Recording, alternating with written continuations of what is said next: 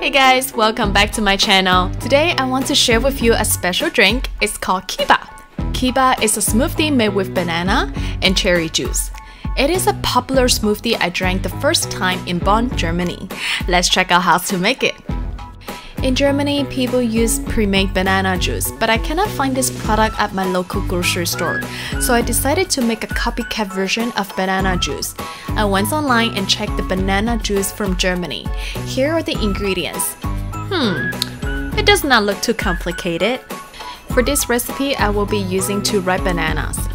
I cut the banana into small pieces, just like this. In the blender, I added the bananas, 1 over 4 teaspoon of lime juice, 1 cup of water, and blend it. The first time when I visited my husband in Germany, he introduced me to this drink and I invariably used to order this every time we went out. After 30 seconds, the banana juice is ready and we can pour it into a cup with some cherry juice just like this. Ta-da! Homemade kiba drink is done. The banana juice from Germany has added sugar.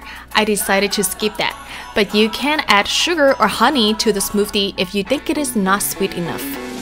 Let me have a first taste. Pretty good, but not quite there yet. I did some googling and apparently a frequently asked question is, is frozen banana better than fresh banana in a smoothie? I don't know, but let's find out together. So I kept googling and it seems that using frozen bananas will enhance the flavor.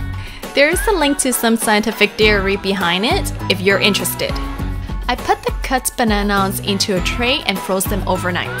The next day, I used the frozen bananas to make this drink with the same ingredients as last time and here is my opinion.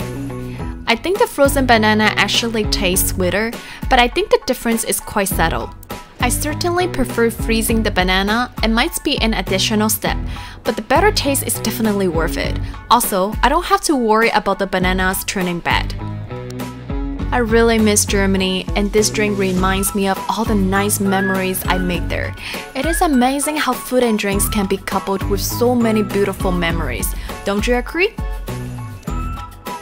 This is it for today's video. I hope it was helpful and thank you for watching.